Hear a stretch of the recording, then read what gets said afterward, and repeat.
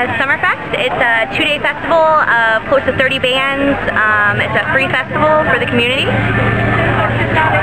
I'm just looking to highlight a little bit of local talent this weekend here, show people what's out there, who's out there, the great talent that's in Panama City and then really Bay County, the whole area around here. Um, and also kind of introduce folks to Beck's Underground, um, our new location, our new place. Again, we're just kind of looking at this as a way to help kind of say thank you to the folks who supported us over in St. Andrews and introduce new folks to this location right here.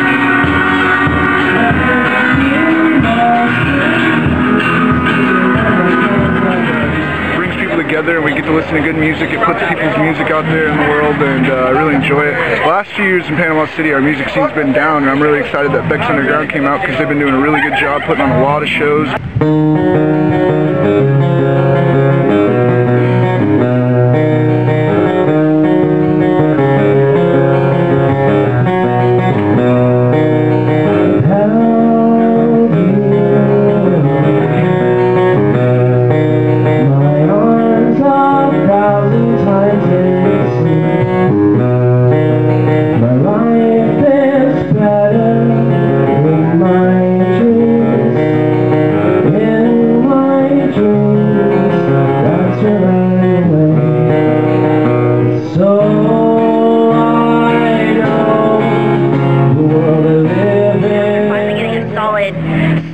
Stable like foundation for us to build and allow new music to come in old music to thrive better. And it's just something that I'm really proud to be a part of and like see it actually happen.